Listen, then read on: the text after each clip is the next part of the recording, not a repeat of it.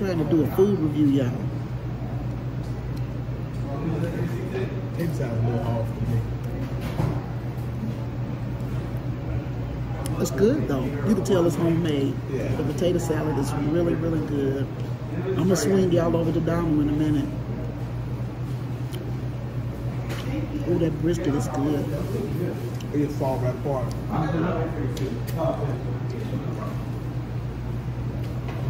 I'm not a big fan of brisket, but since we've been here, the brisket, this is like my second time having brisket. It has been delicious. This is really good. Even though it's all the way cooked, it still tastes good.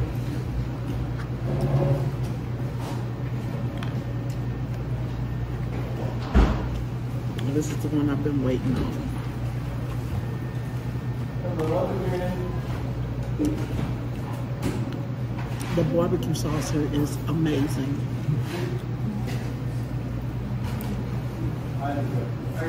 The meat is very juicy and tender.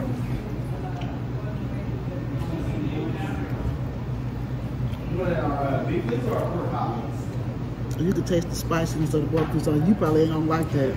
But I love spicy. Can you hand me a na- starting off with the mac and cheese. It's like the best restaurant mac and cheese I've ever had.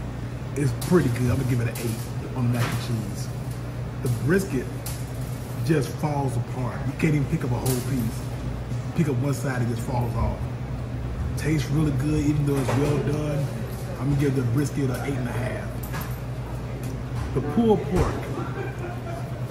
Mm. Well done. Well done pulled pork. Barbecue sauce is on the spicy side, still good. I'm giving it another eight and a half. So overall, like like Katie said, the bread is kind of a cornbread consistency. Not a big fan of that, but everything else is great. Hello, family. Hey, what's up, fam? Where y'all been? What y'all? What you doing? how are you doing today? I want y'all to tell me how y'all doing in these comments. Tell me how you how is your day going? Somebody did that with the guy from Blues Clues. He has a TikTok page and he asked everybody in the comment section, you know, playing the Blues Clues music in the background. And he was just like, tell me about your day. How are you? How are you feeling? Is his name Steve? Steve, See. I was older, so Blues Clues wasn't my thing. Yeah. I was a little older too, but I still watched Blues Clues. You did. and people were just pouring their heart out and crying and letting go. And I was like, that's a pretty good concept, you know, because a lot of people don't get that question. How are you doing today? How are you feeling? Do you need a hug? You know, just little, it's the little things that you could do for people that will just make their day, you know? Yes. It's the little things. But anyway, I do want to know how y'all doing.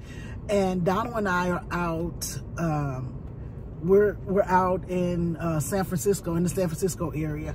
But we ran across this uh, barbecue place. What is it called? Tommy's Barbecue? Tommy's Barbecue. Let me just tell you. Donald does not like St. Louis I don't like St. Louis barbecue. barbecue. He's a hater. Well, the only reason I don't like it because it's not good. That's the only reason. What? it's just Wait, what? St. Louis barbecue is just not good. Okay, I'm I, I don't know where he got that from, but St. Louis barbecue is delicious. Don't believe But anyway, this this reminds me of home. Like this place, the brisket was amazing. Like y'all, since I've been in California, I'm finding out that I like brisket. I have never had a good brisket Mm-hmm. before. And I think I had somebody come to the house one time and make us brisket. This was when we lived in Augusta, and it was just not that good. Huh? he, he don't want to say why. No, no, because she's only had St. Louis brisket. That's why she. I've never had brisket oh, in St. Louis. Oh, okay. I've never, because I don't like brisket. I just No. never did. But my brother, who lives out here in California, he brought us some brisket. Yeah. It was the best brisket I had ever had. Mm-hmm. I was like, oh my God, that seasoned perfect. Like you couldn't put anything else on that brisket. And you could eat it naked. Like you didn't have to put no barbecue sauce. it. Was just seasoned to perfection. And I was like, uh, that's good. And so then we run across this place. Well, I saw it on TikTok because I'm like, let's try something different because I'm, I'm tired of eating out. You know what I'm saying? Yeah. And I can't cook here. But I was like, let's let's just try something different. So we got barbecue. I love barbecue. I love ribs. Like if if I could eat spare ribs, rib tips, yeah, I just love ribs. Riblets, I love them. So I was looking up this. I was looking up places to eat in California where we are, and this place popped up, and I was like, I want to give that a try. And so we come here now. You're gonna pay. You're gonna pay, pay. Yeah. But uh, it, it, I feel like it was worth the price was a great because everything. Yeah, customer service was a ten. They're very welcoming. The restaurant was clean. The food was delicious. Like when you order it, like when I ordered these ribs, they were pulling the ribs from uh, out of the aluminum foil wrapping and cutting and slicing. I was like, oh my God, that looks so good. Yeah, that's good. And the meat was tender and it was juicy, but I mean, you know. But anyway, um, we are just out here hanging out, uh, nothing to do because today we actually had planned to go on our train ride this morning. And as you can tell by today's title, he lied. Okay? lied. He lied. And I'm gonna tell it's it's sad and funny at the same time. So I'm gonna tell you my version of it, and then Donald will insert himself Okay. because he was the one that had to deal with it. Okay, so here we go. So we come here like uh, last week, and we find because we use the Rover app to watch DJ. Well, okay, so Donald, we, we found places now. We got to remember we're in California. So we, we're not in Kansas anymore. So the prices are tripled what we are normally used to paying for Rover. Rover normally costs us between $25, $35 per night to watch DJ, mm-hmm. right? And we have been blessed where we have found people who love animals who love dogs. They just treat DJ like a king. And I was, I told Donna, one lady let DJ sleep in her bed. Yeah. I said, he's not gonna want to come home because he's living in the lap of luxury right now. Well, uh, every time he would see Donald, he would still want to come home. So I was shocked by that because they were treating him so Oh. good because we, we don't let DJ sleep in our bed. But anyway, we were looking on there and people were charging upwards of $201 per night. Yeah. And the, like in the area that we're staying in, uh, one person was like 163, 159, 135.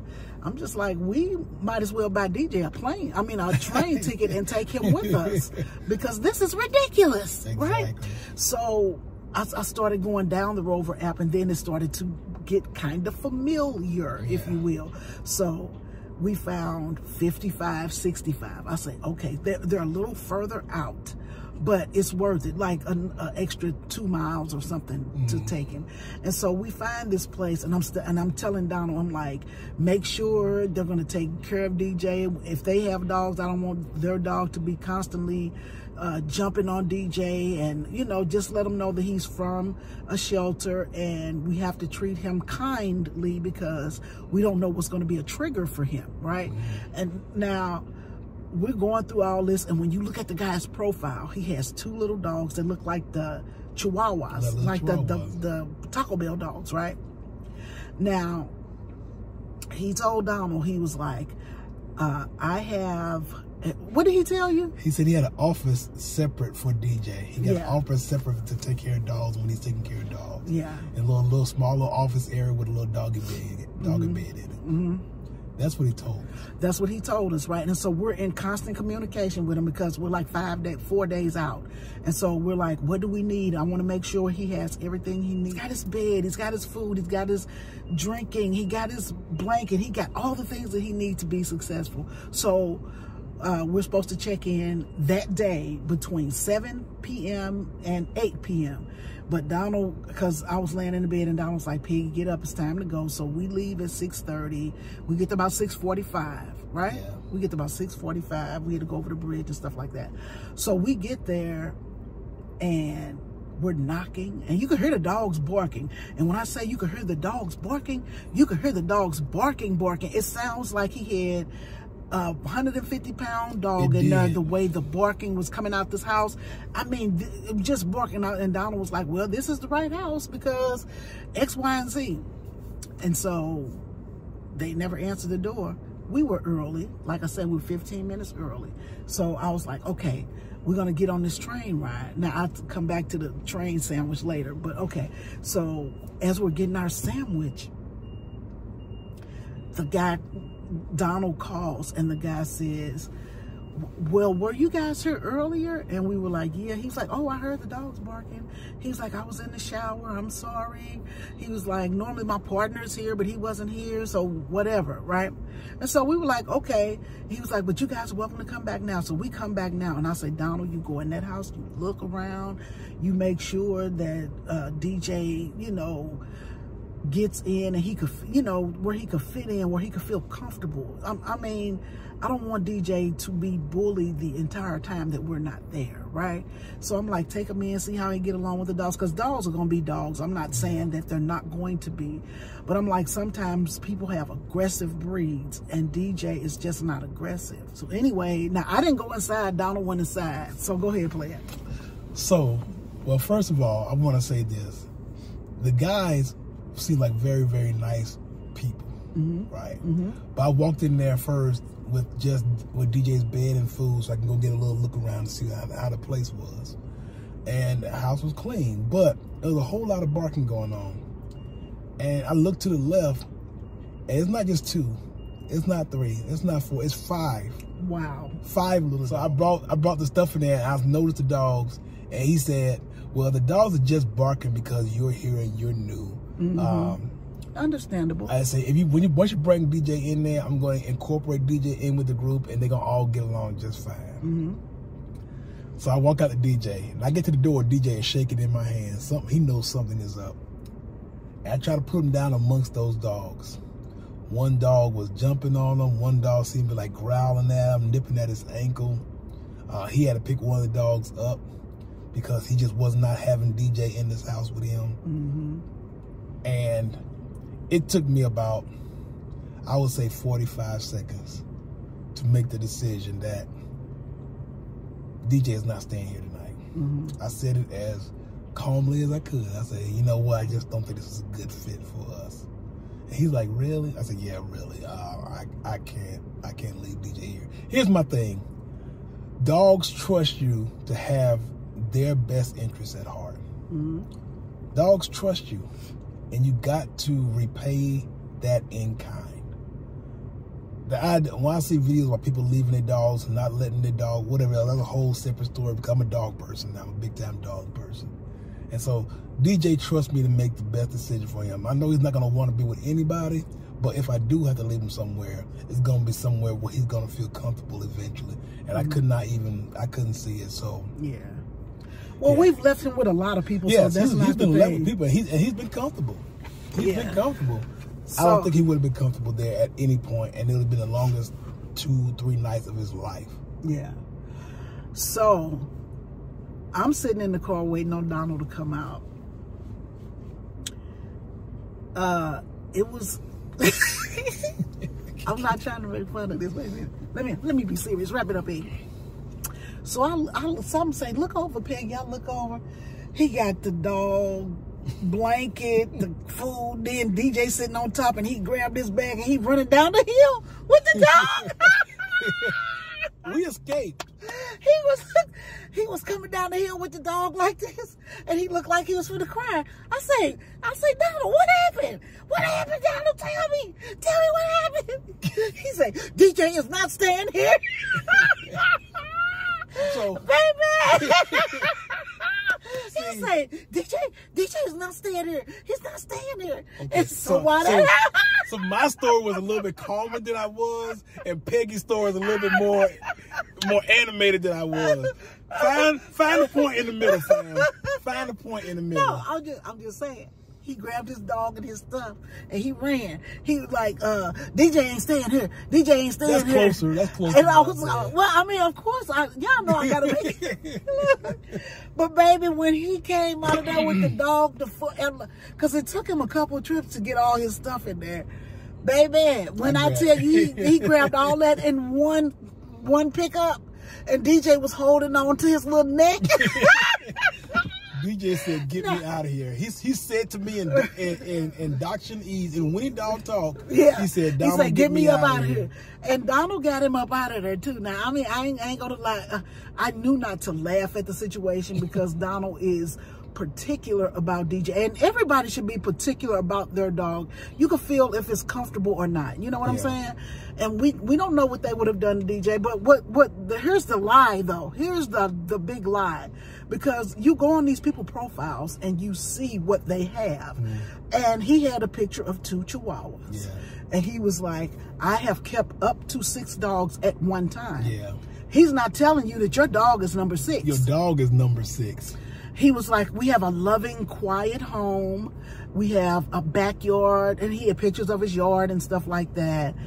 And um, it was just really weird that he would say, I have kept up to six dogs at a time.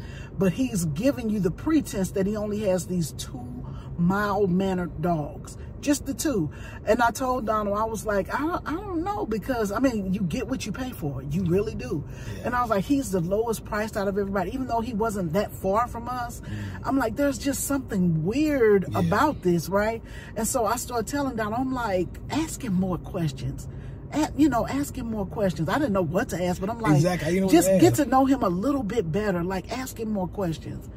And so he never admitted to having these five other dogs in the home. We just knew it was going to be two. It was going to be three dogs. It was going to be DJ and the two little chihuahuas that he have, right? And then he say, if it gets to a point where the dogs don't get along, I have an office that I will put the new dog in and I will put a fence up and that dog will feel safe and he'll be okay. And I'll make sure their outside, outside times are different and stuff like that. So he really made us feel like, okay, we got this. We're going to take care of your dog. You ain't going to have no trouble.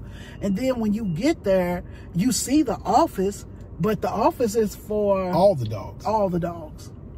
He, they converted the office into So- a kennel, an, a wide Yeah. open kennel with like four dog Yeah. beds. So he lied about everything, right? He just lied about everything. Uh, it was just weird that he would give us all this, you know, this talk about, oh, I only have two dogs, I only have this, I only have that.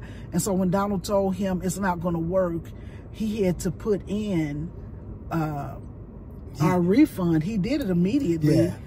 And I think he wanted to do that to keep us from bad mouthing him, which we were not going to do because I'm not going to do that because somebody else could find him amazing. I mean, I don't know, but he was just not the fit for us. I want to say something about that. Yeah. After we left, I was like, should I leave a negative review because I didn't really use his services and stuff. Yeah. And I feel bad because this person still has a five star review. And so Yeah. now somebody come behind me and thinking it's like a, like a uh, exceptional home for their dog, and it may be for some other people, but it could be. But if any if those dogs have been trained, like if he could have said sit or y'all go away and they walked away, I'd have been fine with that. He had no control over the dogs. Yeah. Zero control. Zero control. They had full run of the home. And that's Yeah. where the problem was. Yeah, and maybe his partner was the main person in the home, and when he's there, he could. Yeah, but unless the party gonna be there all the time. Yeah, but I'm just saying because I don't know where he got the five star review from. He only had three reviews. Yeah, so Three reviews and it's all But at the time, his partner could have been home. Uh, when Donald is holding the dog and the other dogs are jumping up trying to get at trying the to dog, get him. then there's a problem. So I mean, that's that's what that was. Uh, we were supposed to get on the train at nine o'clock this morning, Yeah. But we couldn't do it because we didn't have a sitter for DJ. Most people would like a couple days notice. Sometimes people want a week notice. Yeah. And so yesterday we get home. Now it's late because seven to eight. We didn't leave his house till about seven forty-five because we're trying to see what we could do to make things work and it just didn't work out for us. So we get back to the house it's about 8 15 8 8 20 at this Yeah. time or something like that or 8 so donald's on the app and he's trying to find us a replacement. Now he found some really good people. Now you got again you have you get what you pay for so he has to pay a little bit extra but as long as you can go with a peace of mind that the dog is going to be okay when you're gone then that's a whole nother level. So anyway um he found somebody last night, but nobody was responding. So we woke up this morning and uh, we were like, yeah, this trip is kiboshed. Like it, it is not going to happen. So Donald goes over to the Amtrak station because we're going to do this train ride. And uh, they were like, well, we could change you to tomorrow which was really good because now the tickets are thirty dollars each cheaper, so we saved sixty bucks. I was like, hey, look at that blessing! And so we changed our tickets to tomorrow, Yes. and we found a sitter. We found three nice sitters. The guy that we really, really wanted. Rick- Did you get him? Or No, you I, it was little two I really, really wanted, but my third choice was the great. I, I only wanted great people. So Yeah. I had three great people. The one I really, really wanted, the 59 year old man with no pets. Mm-hmm. He took care of a dog for like 15 years and the dog recently passed. Yeah. He had no other dogs other than that one, so he was not available. There was also about a 25 year old girl with a big backyard with no pets. The one I got was a lady with one pet. And she had perfect. she had a 12 year old uh, pug. I ain't know Yeah. pugs live that long, but Yeah. she has a 12 year old pug that doesn't really get around that much, and that's the only pet she has. And she's got a fenced in backyard, Mm-hmm. Yeah. so she's good, and and that's the one we got. So I felt very, very blessed that we got her. But Yeah. everybody I sent messages to were like top of the line people based on Yeah. their profile, updated history, and reviews. The lady I got got 173 reviews. She's been mm. taking care of dogs for like seven years. So that's So, good. I ain't know That's was even that old, so- and see, there, here's another thing too about the last guy. He was just on there. He- he just got on He had just got certified what a month ago, maybe. Yeah. So people hadn't had an opportunity to see him, but we just didn't want to badmouth him because it could have been yeah. a bad situation or whatever else. So that was that. But anyway, so we found DJ a sitter. So right now we're in talks with the hotel because I'm gonna tell you the hotel is super cheap over here in Reno. The hotel is super cheap. Mm-hmm. It's those resort fees. Resort fees get that get you.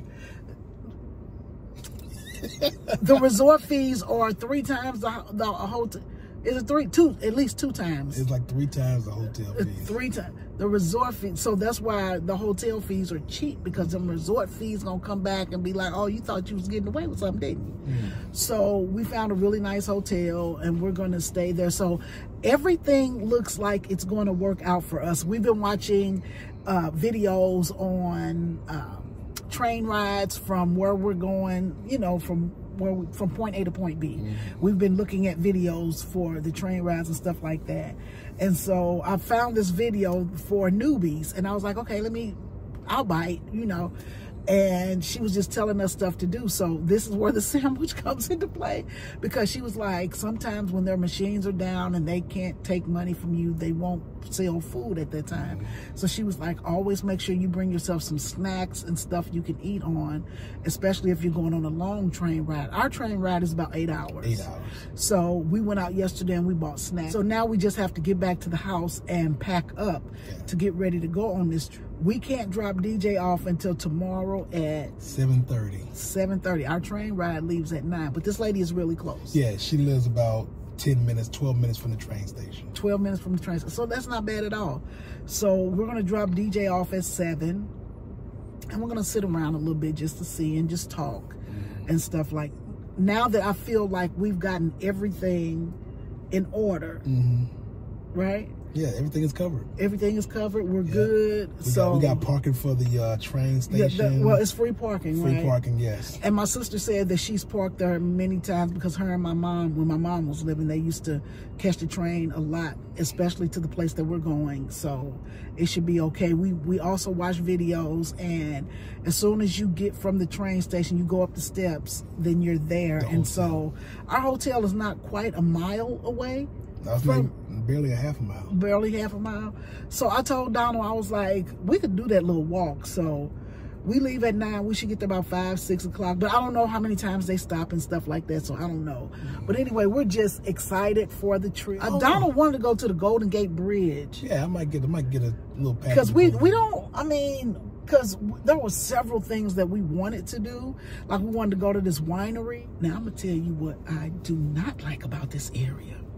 Going to Walmart, Oh okay. my god. going to Target, any store, every when I say everything is locked up, you can't get a comb, you can't get a brush. You better not even think about getting like your hygiene products. And uh, now I understand the makeup because you know these young ones they they will go. I've seen it happen at Walmart in St. Louis.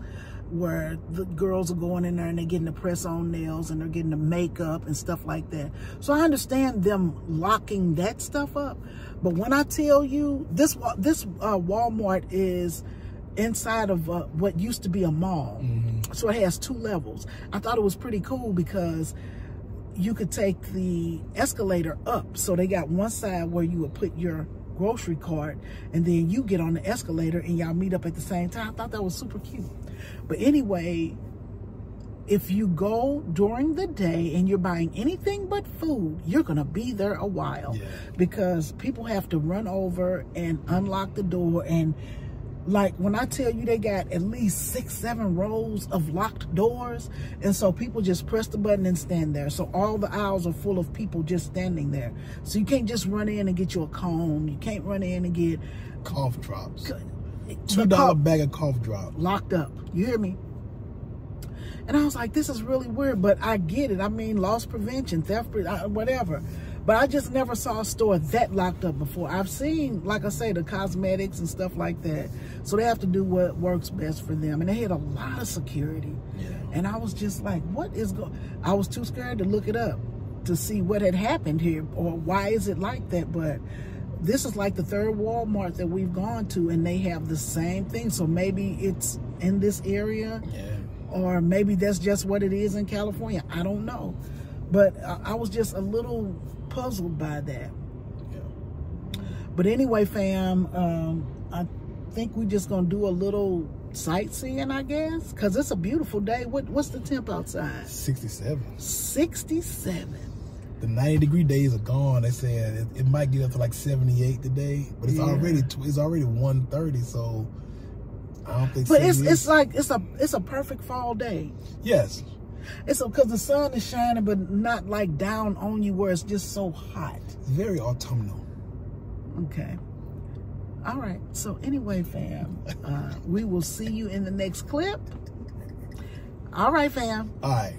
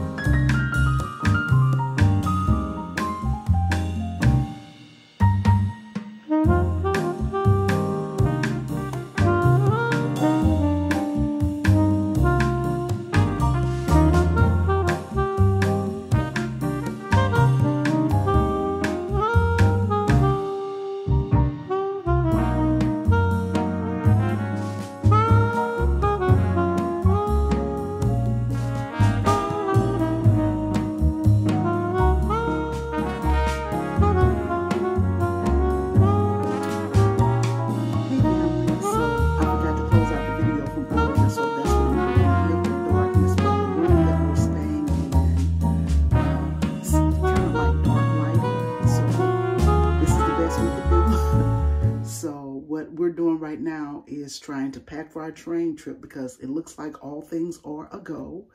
So I am trying to pack a lot of clothes into this small suitcase. And I don't know how well that's going to work out. So this is a pack with me as I fuss with Donald to get his stuff ready to put in this bag. So I'm going to have one side of the bag and I can't add anything to it. And Donald is going to have the other side of the bag. So come on, play. You got your stuff? Yes. So here's what it is. This is what I told Donald. I was like, the, the, the stuff that we wear will be our travel clothes, right? So we got that. So we'll get there tomorrow about, what, five or six maybe? Yeah. We'll get there about five or six tomorrow. So I feel like we could keep on what we have on because when we get there, it'll be dark. So we'll have time to put our bags down and go scouting a little bit. And then the next day, we'll need two change of clothes, you know, the morning and then the evening because Donald wants to do some hiking. I don't know how we're going to fit this into the program, but some kind of way it's going to work. Then we need travel home clothes because we're only going to be there two days. Mm-hmm. Right? Two Yes. days. The evening we get there, the whole day, the next day, and then, And then we'll half day come back. Yeah. yeah. And then we're going to be moving on to our next destination. There you go. So anyway, th this is pure comedy. I don't know how we're going to do this because, you know, I like to overpack, overshop, over everything. So how many outfits you need? Three. All right, family, forgive the bed, but we did it. I cheated a little bit. I put my shirt on the top. But yeah, I think we can close it now because we have our garment bag. Well, not a garment bag, but our bag for our hygiene in there. And then Donald has, how many outfits you got in there, player? Four. And I got three and a half. Okay. so I think we did pretty good. We did. All right, family. So we got that bag together. Do you think it's gonna work? Oh, We- yeah. We ain't got no choice but for it to work This is plenty. because we just want to take the one small bag on the train. It's only two days, whatever. We we have to make it work. I don't. Women, gotta- why do we do that to ourselves? We overpack. We overpack. We I guess we want to have options, Yeah. you know, just in case something comes up. Like, what if we want to go to a fancy dinner or something? That's, I always think that I'm like, what if we want to go to a fancy dinner or what if a show becomes available and we could watch? I don't know anything about where we're going, so it's just kind of hard to pack. But I'm just gonna pack like we've been packing for camping, so we'll just make it do what it do. There you go. But anyway, yeah, we got it together. We did our thing. Now, we done tore this room up. Oh my. Okay? We done tore this room up. And Donald keeps saying, babe, I think we should downgrade to a queen size bed. And I'm like, no. You know what I told him, y'all? The devil is a liar. Yeah, yeah, yeah, yeah. Victory is mine. Yeah, I was like, the devil is a liar, cause baby, this bed don't agree with us, cause you know we can connect, but then you go to your side and I gotta go to my side. That's it. I meet you in the middle to say goodnight, then you go to your side, I go to my side. Ain't no sides in this little bitty bed. I be wanting to roll over and then over and then over. Can't do that. But anyway, I know y'all don't believe it, but I'm gonna see you in tomorrow's video, family. so until then, be safe, be blessed, and we will be back. All right, fam. Bye bye. Peace.